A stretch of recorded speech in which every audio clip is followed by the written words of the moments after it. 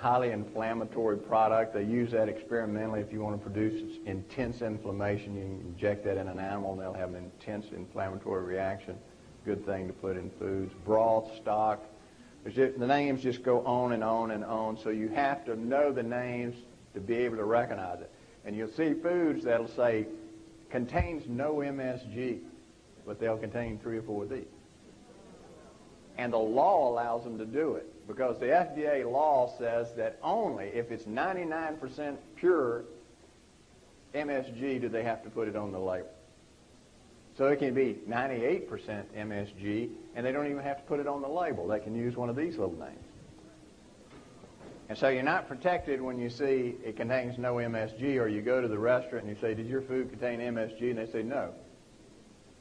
But it contains hydrolyzed vegetable protein or some of these others. Uh, and sometimes they don't even know. You'd be amazed how many people in restaurants have no idea that hydrolyzed vegetable protein is, is monosodium glutamate concentrate. Now, these are the foods that are especially high in excitotoxins. Anytime you use something like a gravy, uh, if you use salad dressings that are commercially prepared, particularly diet salad dressings, they're all high in glutamates. And you'd be amazed the number people say they go out and eat and they have a salad and they use the ranch dressing and they have this horrible headache. Or they clouded in their thinking. They can't remember. That's because of the monosodium glutamate in the salad dressing. Soups are notorious. All commercial soups use a lot of monosodium glutamate, and Campbell's soup is the worst. Uh, Campbell's, I check their labels regularly. I've seen as many as four different types of excitotoxins added to a single can of soup.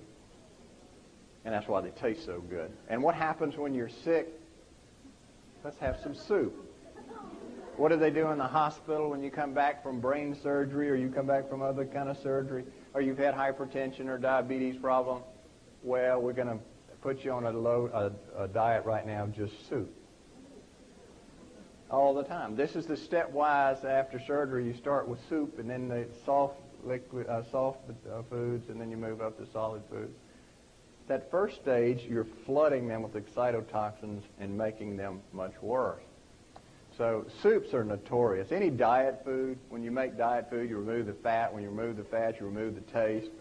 So the manufacturers quickly say we can take out the fat, we can put in the MSG, and it replaces it, and they'll eat it.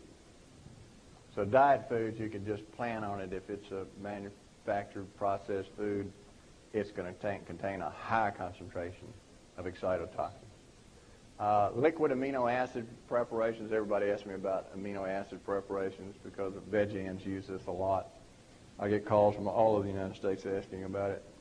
Anytime you break down a protein to its free amino acids, you're getting high concentrations of excitotoxins. I don't care what they say. You call the company and they say, no, we don't add excited. No, we don't have MSG. Yes, they do. They say MSG is a salt of glutamate, monosodium glutamate.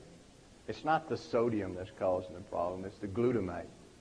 So if they break down the protein and they have a high concentration of glutamate, no, it's not MSG, but it's glutamate. It's the glutamate that's the excitotoxin.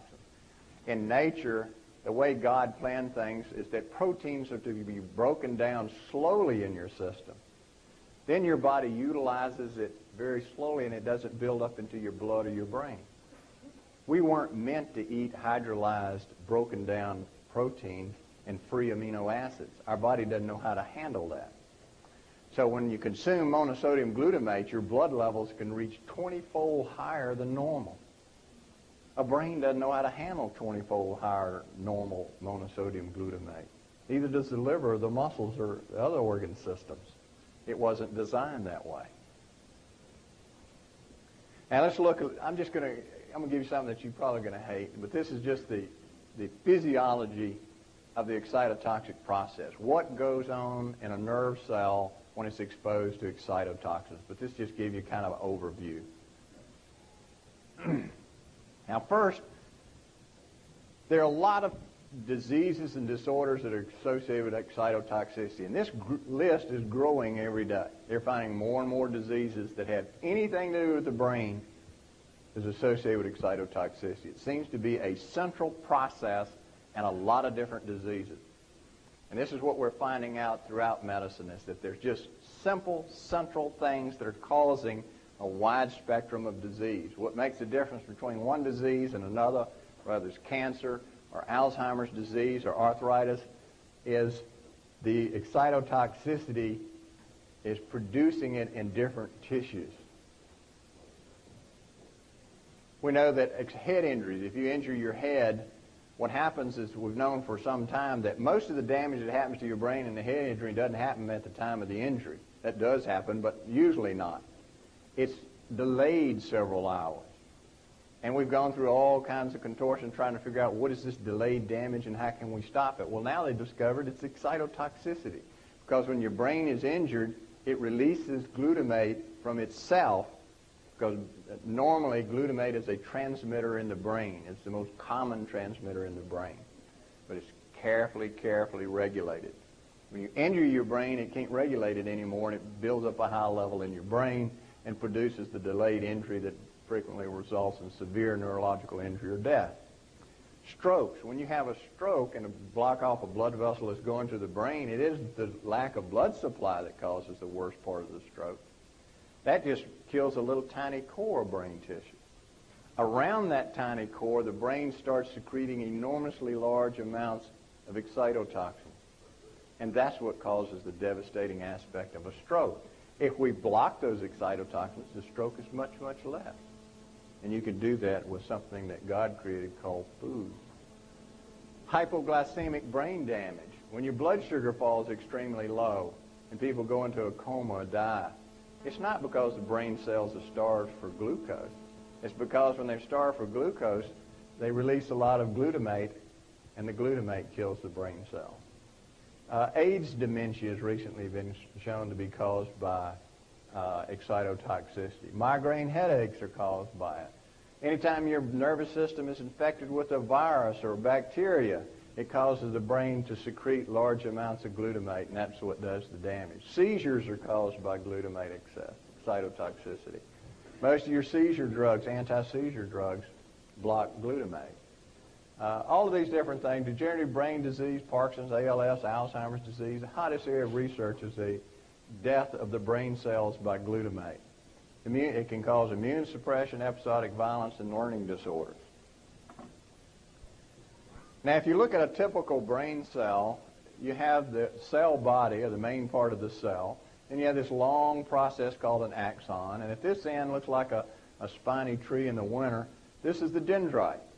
This is where all the different connections are made in the brain. They connect each other. And dotted on here, you see these little squares here. That's the receptors. That's where glutamate attaches to send the signals down the nerve cell. So glutamate is normal in the brain. It's the most common transmitter, as I said, and its function is to carry information from one brain cell to the next so your brain will work. And it carries out almost everything that you can think of in your brain is somehow connected to glutamate neurotransmitter.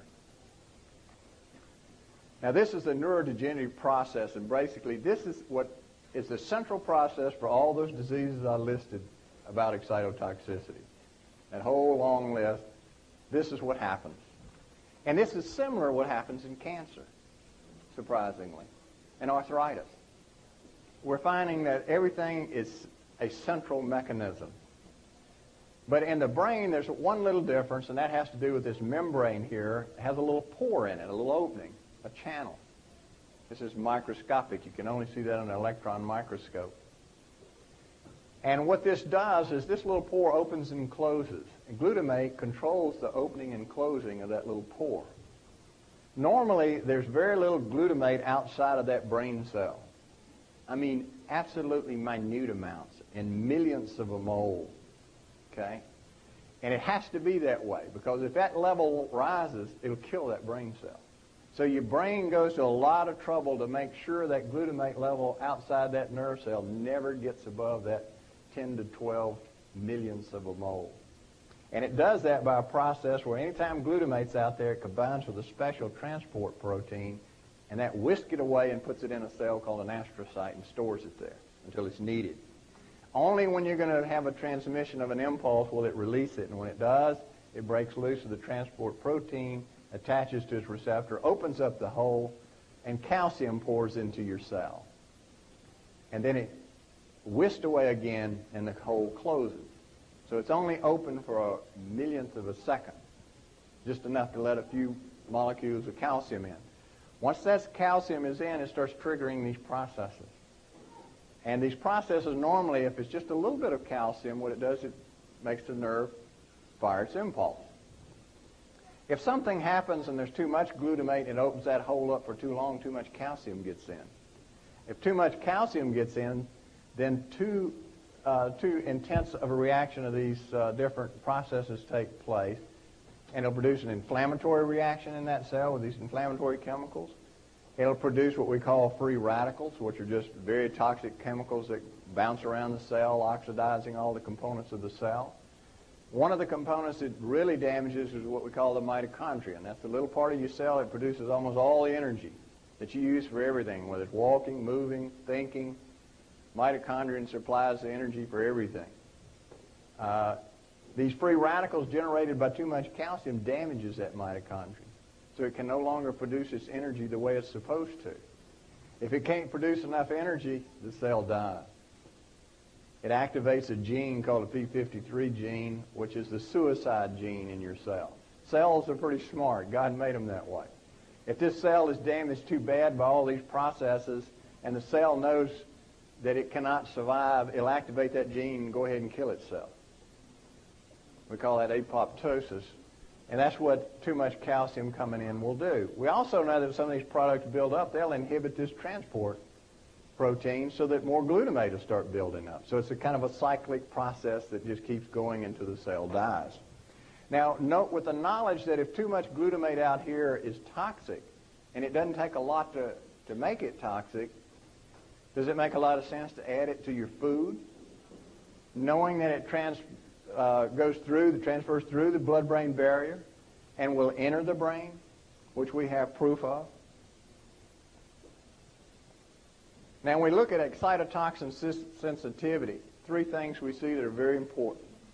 One is that human is five times more sensitive than the next most sensitive life form on Earth, the mouse. And we're really 20 times more sensitive than a rhesus monkey. Newborn babies are four times more sensitive than adults. So if you're pregnant and you're eating food that contains a lot of MSG, that is passed through the placenta into the baby and damages the baby's brain at a time that brain is being formed. And they're four times more sensitive than an adult would be.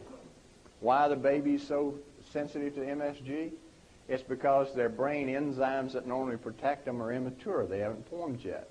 Their blood-brain barrier is immature. It hasn't completely formed yet. And babies and toddlers frequently become hypoglycemic, which magnifies excitotoxicity.